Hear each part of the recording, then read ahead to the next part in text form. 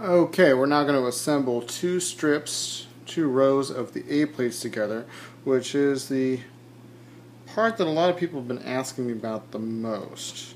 So let's start that assembly. Alright, so you need a piece of paracord three times longer than the row that you're going to assemble.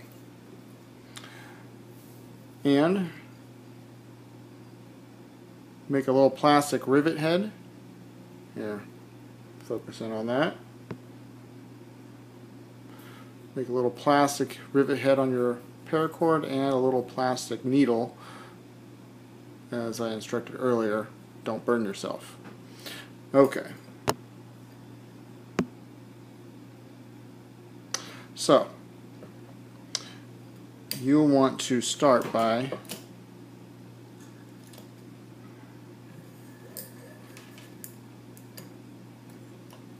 put it through the bottom large hole and that plastic rivet head won't go through. And then you will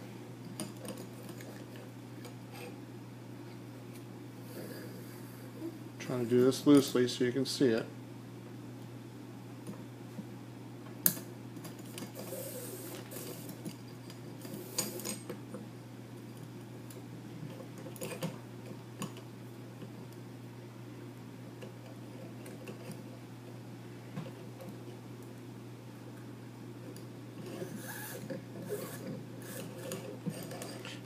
So you see that that, that the paracord actually goes through the larger hole twice.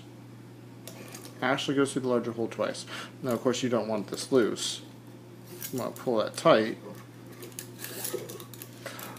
While you're assembling this, unlike the, with the D plate, you're going to want to assemble it loosely and then go back and tighten it.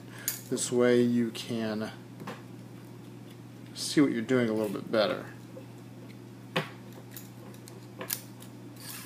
It's trade-off. You know, you this part's a little bit slower than the D plate, but there's half as many plates.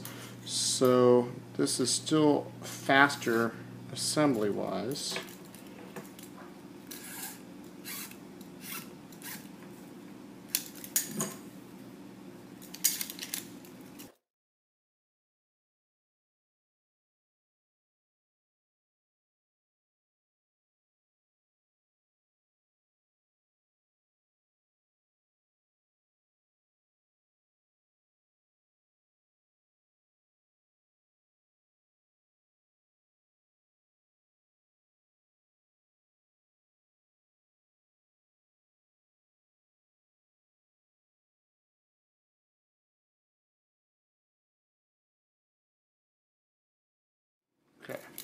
Gonna tighten it up and show you the backside.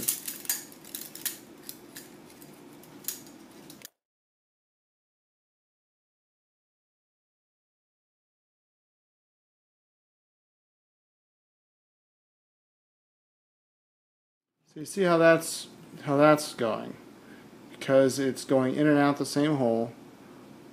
It's like a nice solid straight line stitch coming across the back.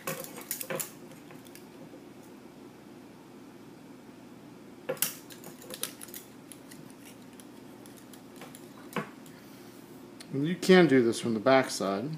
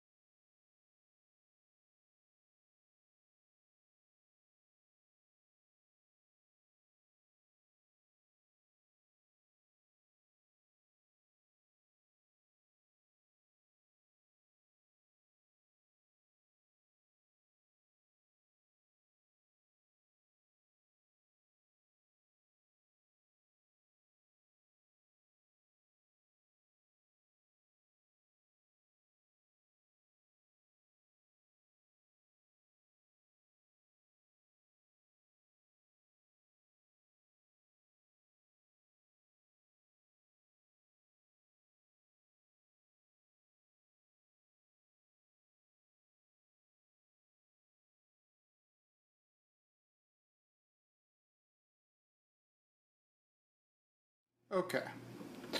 So now we have our two rows placed together. Ah, eh. there we go. And you'll see that this has a bit more compression possible than the D plate rows. There's actually a little bit of movement here and you can actually increase that or decrease that on how tight you pull when you go back and pull out your slack and how do you finish this off? Well, paracord is really nice in the fact that it will melt to itself.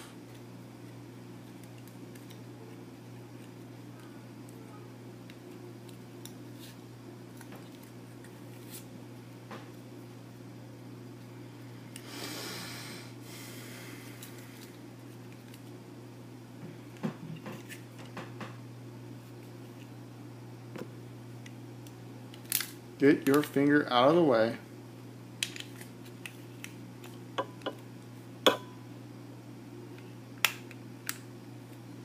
And when you get it melted enough that this comes apart, you've got enough.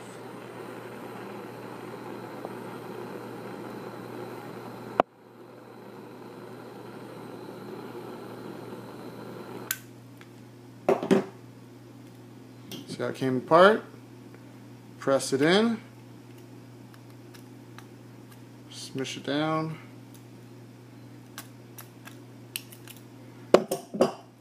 Not going anywhere. Okay.